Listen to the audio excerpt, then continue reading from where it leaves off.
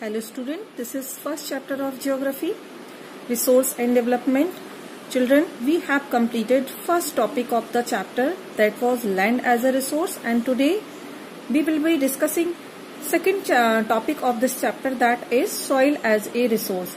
In this topic we will discuss a lot about how soil is a resource, how soil is useful to us. As we know in day-to-day -day life also soil is very important thing for us. It is a medium of plant growth and support different type of living organism. It is useful for growing crops and many more things. So let us discuss about its formation. Children, soil takes millions of years to form a few centimeter in depth and it is very important for the plant growth and support different types of living organism. So let's have a look. Before discussing factors that help in formation of soil, I show you a diagram that is on page number 7 and you are supposed to draw this diagram in your notebook. This is a picture of soil profile and different layers are given over here how soil is formed. So how soil is formed there are various factors like relief, parent rock and bedrock, climate, vegetation and other forms of life and time are important factors in the formation of soil. Forces of nature such as change in temperature, actions of running water, wind and glacier, activities of decomposer, etc. contribute to the formation of soil along with chemical and organic changes which take place in the soil are equally important right? So here are various things various factors that are responsible for the formation of soil. We can understand this thing like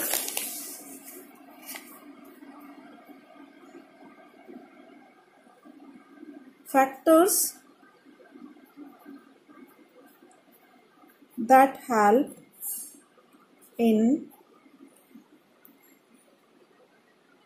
formation of soil. So as you know that there are various factors that are responsible for the formation of soil like relief, parent rock,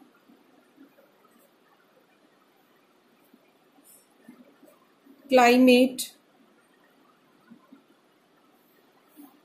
vegetation.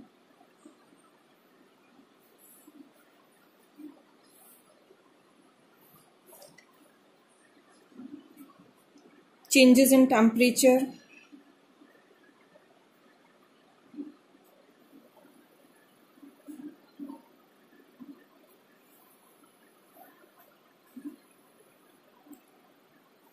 Action of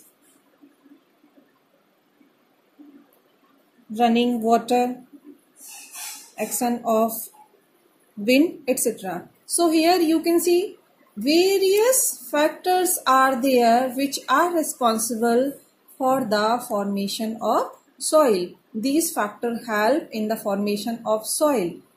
Okay. Now we will see classification of soils.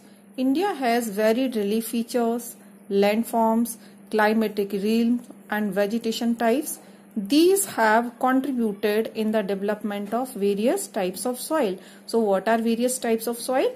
In India, there are different types of soils like alluvial soil, black soil, red soil, yellow soil, laterite soil, arid soil, forest soil. So there are many types of soil and we can divide this soil into six part. Classification of soils classification of soils we can classify into six part. First is alluvial soil. Alluvial soil is most widely spread soil because in most part of the country this kind of soil um, we can see everywhere. Second is black soil. Since it is black in color that's why it is known as black soil third is red and yellow soil. And fourth is laterite soil. Fifth is arid soil. And sixth is forest soil. In this way this is the classification of soil. Six types of soils are here that are found in our country. So we will first discuss about alluvial soil. Look in ncert alluvial soil. This is the most widely spread and important soil. In fact, the entire northern plain are made of alluvial soil. How? Because in northern plains, this the soil is brought by three important uh, river system of Himalayan river that is the Indus, the Ganga, the Brahmaputra. So these have been deposited by three important Himalayan river system the Indus, the Ganga and the Brahmaputra.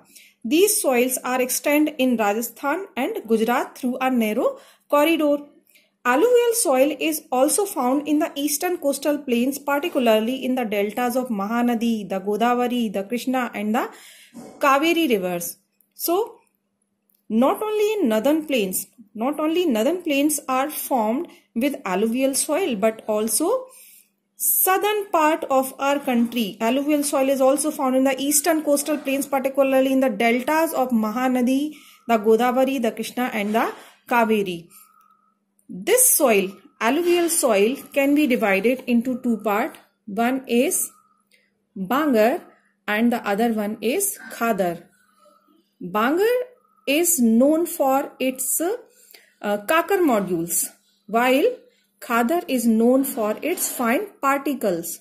Bangar is old alluvial soil while Khadar is new alluvial soil. So I hope you understood alluvial soil uh, deposited by the Ganga, the Indus, the Brahma Putra and also found also found in the deltas of Mahanadi, Kaveri, Krishna Godavari, etc. It can be divided, this alluvial soil can be divided into two parts. One, as I uh, told you, Bangar and the other one is Khadar. Bangar is old alluvial soil while Khadar is new alluvial soil.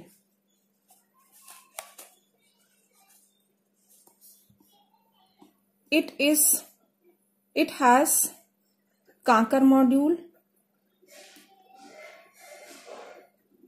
and it is known for its uh, fine particles. I hope you understood this.